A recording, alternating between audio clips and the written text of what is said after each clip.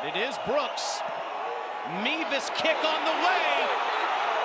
It's good! There's a flag down. Missouri at the moment has walked it off, but there are flags all over the field.